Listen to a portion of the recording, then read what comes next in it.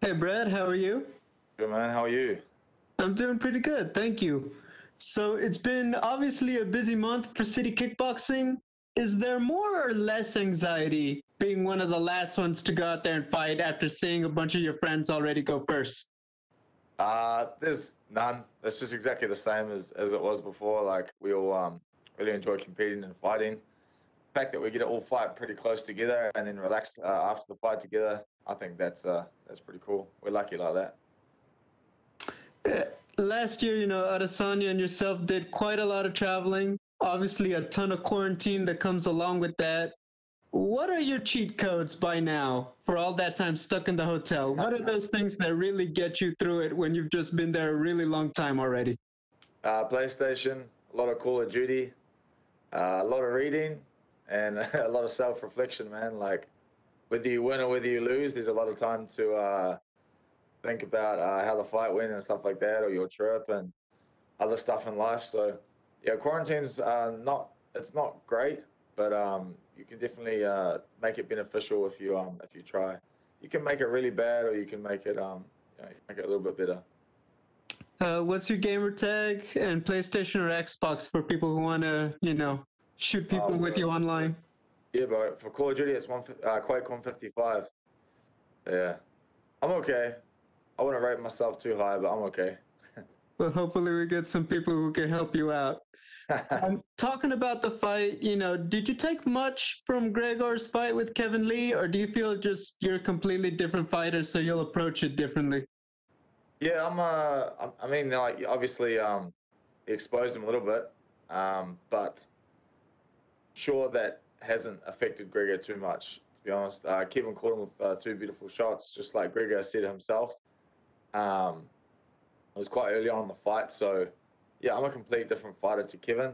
So yeah, the same result would be great, but uh, we'll have to see how it goes. My final question just what do you want to show most for yourself in your performance on Saturday? Uh, that I can hang with a really, really high level wrestler. That I can hang with an all American wrestler, and uh, from from there on up, it'll be a uh, there will be a lot of worry for the other top 15. contenders. Okay, thank you, Brad. Good luck. Thank you. We'll go next to Damon Martin with MMAfighting.com. Your line is open.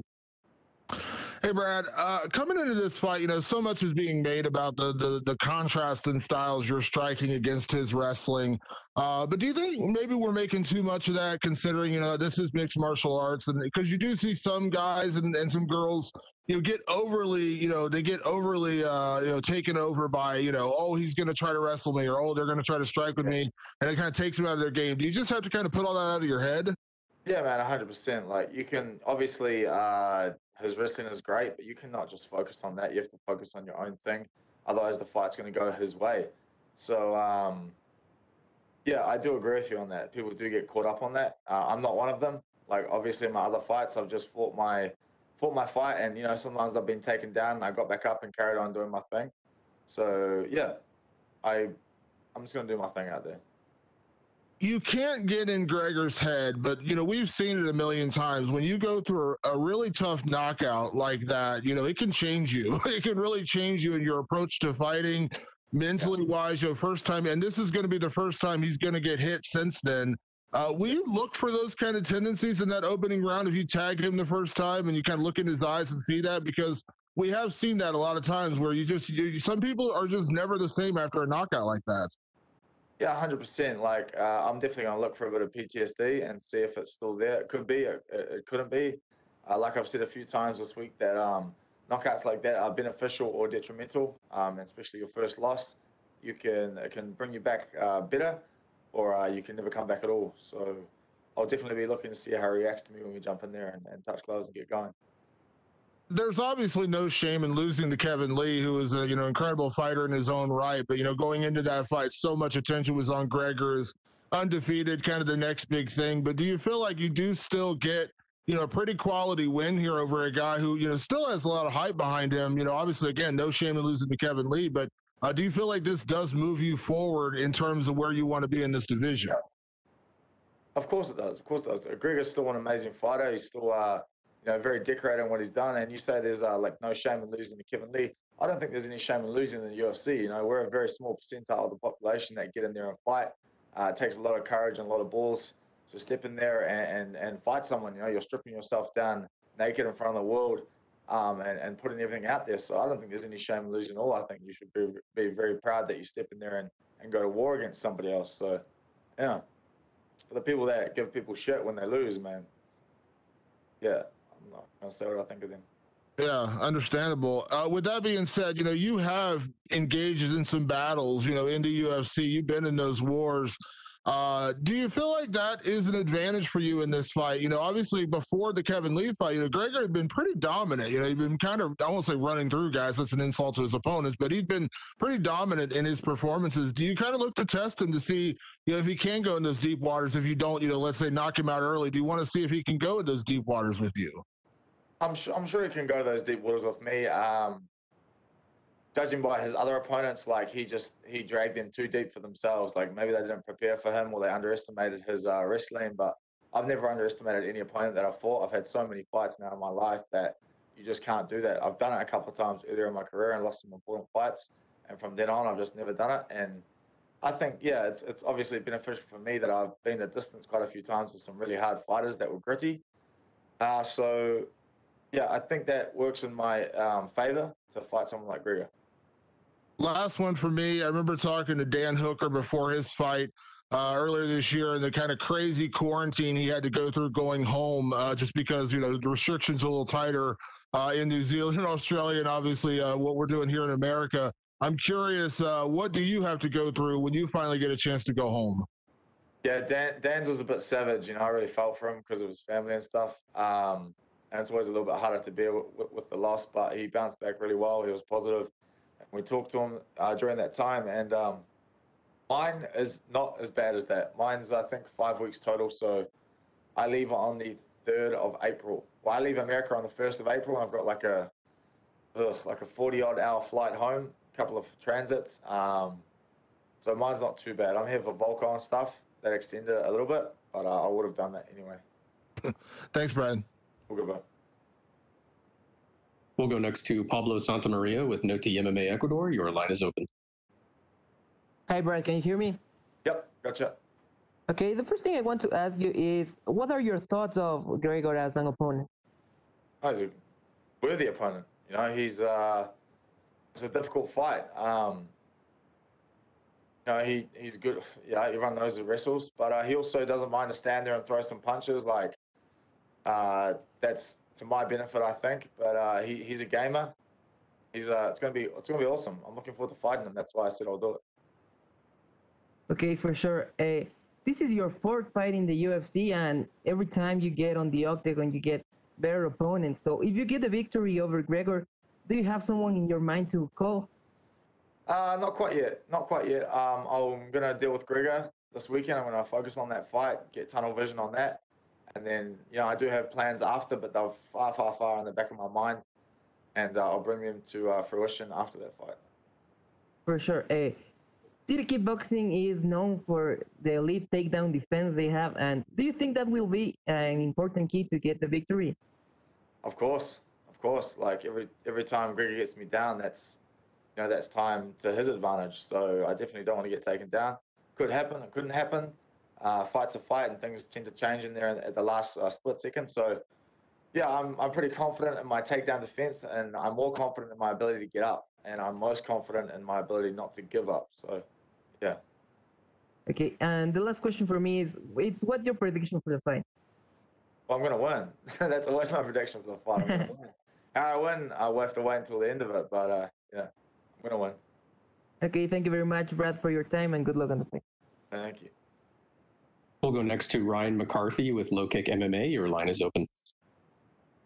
Hey, Brad, how's it going, man? Good. How are you? Good, good. Just a couple questions here. You're um, you're three in the three and zero oh in the UFC, six straight wins overall. Uh, what would be next for you if you um, you know, when you get a dub over you know ranked opponent Gregor Gillespie here? Is uh, are you trying to um, go into the top ten for an opponent? Is there a certain name that you're looking out for here in the lightweight division? Uh, there's not a sort of name yet. You know, you've always got to wait for uh, other fights to play out to, to see what the uh, best um, you know pick is um, for me. But I fully believe I deserve someone close to the top ten um, after get going through Gregor, uh, top ten or close to. Yeah, for sure. And do you, since you're in the lightweight division, do you have a prediction of uh, what the next um, lightweight title fight will be? There's obviously a lot of uh, a lot of names out there that are um, you know vying for that shot. So Well, personally, I think Dustin and Charles Oliveira um, fighting for that belt. Those guys have uh, earned their spot. sure. And uh, is there a certain um, cheat meal you get after after a W over Gregor on Saturday? yeah, man. I always like I like smoking meat. I like eating barbecue and stuff like that. I'm a I'm a big meat eater, so that's what I'll be hunting for over here. America's got pretty good barbecue. To see what uh see what Vegas has. Nice man. Well, we look forward to seeing you. Best of luck on Saturday. We'll go next to Nikita with Sport Express. Your line is open. Brett, big pleasure to talk to you. So man, how are you? Uh, I'm very good, thank you. Brett, Israel Adesanya once said that you are one of the toughest and bravest person he's ever met in his life. Do you remember your first meet with Israel and your first impression of him? My my first meet, my first impression of Israel. Yes. Uh, jeez, I think the first time I met Izzy would have been oh, coming on like nine, eight or nine years ago. Eight years. He used to. Uh, we were at different gyms, and uh, a couple of times a week, or sometimes uh, Eugene would bring uh, him and a couple of other guys up to spar at our gym um, in a different part of the city because our gym was uh, quite known for like quite hard sparrings, and uh, we probably sparred a little bit too hard back then. And Izzy would come up and, and spar us, and it was the same thing back then. Like he was hard to hit, you know, at distance, and then so I used to get in close and get him in the pocket. That's where I'd have the most success, and then I spent so much time doing that. He got good at doing that, and then obviously from there on, he got good at doing everything. That was my uh, that was my first times meeting him, and same same thing then as now, man. It's it was hard to fight him, and he's always been a good a good dude. You know, he's got heaps of energy. He's real fun. Yeah, I've always said uh, good things as well. Uh, Brett, uh, now we see more and more knockouts against wrestlers in MMA with flying knees, with knees, and you're a Muay Thai kickboxing guy. How much do you love knee and how you make stake on this type of strike against su- such short wrestler like uh, Gregor?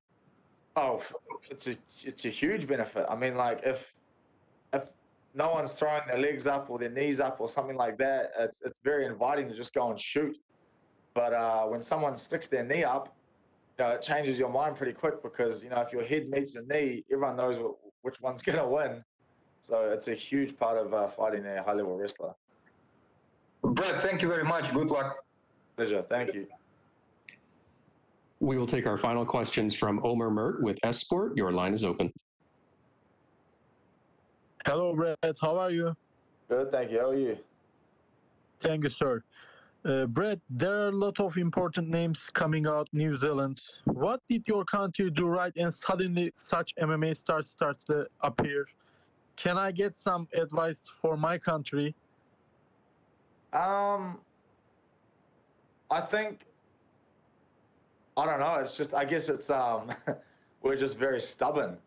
Like we're a very small country and we weren't very noticed. Um, before this, we had we had so many amazing fighters in our past that found probably found it difficult, and unfortunately, they didn't get to to get onto the world stage just because of our location in the world. It was hard to get out, and it's not it's not anything that we're doing lately. It's just the stuff that we've always done, and we're very lucky that Dan Hooker and uh, Israel have like elevated our our platform in the UFC, and now we have a lot of exposure. So, and Mark Hunt, you know, as well. Like those guys got us noticed, and now it's easier for us to get into the UFC. So, it's not what we're doing now; it's what we've always been doing, and we're just yeah, we owe those guys a lot.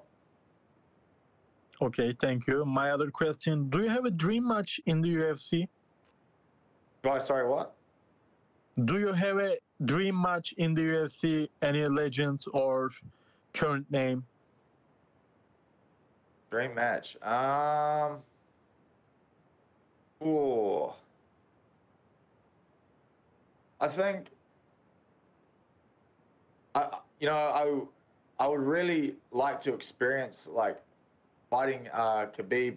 Obviously, he's finished, but just watching that guy over his whole career, like he was such a dominant force, and didn't matter who he got in the in the cage with, you just saw him crush them and just fold them. And I think it would be a, a crazy experience to to fight him and feel that strength and feel that that you know that that power and you know then you can go away and really think about what you have to work on and, and appreciate how long he's how long he's been working on that skill set. So that would be cool. That would be uh just more for um yeah experience. Okay, my last question, uh, Brad. What do you think Adesanya's last performance? Did you ever ever chance to talk after the fight? I haven't talked to him about the fight. We've just talked. I think uh, I told him that somebody he's doing quarantine in my home city, so I told him somebody wants to drop him off some barbecue, and my mom dropped him off heaps of muffins. So I think that's about as much as I've said to him. But um, uh, I, I thought his performance was great. You know, I think he's he's daring to do something that a lot of people uh, haven't done and will probably never do, like going up to fight a man that big. You know, Israel's a very tall middleweight, but he's not an enormous one. Like he's not hugely heavy and stuff. So for him to go and fight a man that big and, and risk his record and you know dare to be great, it's awesome. You know, when I lose, I'm like insanely proud of that guy and what he did, and uh, he's going to come back and do do just as just as many phenomenal things as he's done in the past. And yeah, don't don't sleep on Israel. There's some there's some big things coming for that guy still. Okay, Brad. Good luck. Thank you. Thank you.